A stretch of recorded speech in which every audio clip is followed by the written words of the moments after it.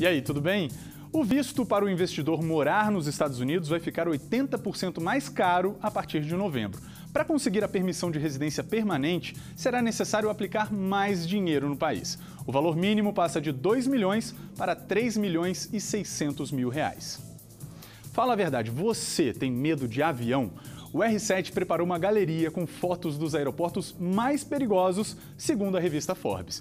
Um deles fica na ilha caribenha de Saba, local onde foi rodado o filme King Kong e que também é conhecido por ter uma das pistas mais curtas do mundo.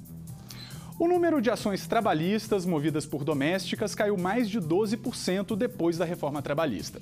Especialistas acreditam que o motivo seja o risco do trabalhador pagar os custos do processo caso perca a ação. Lá no R7 você encontra uma reportagem com os números detalhados. Clica lá. Tchau!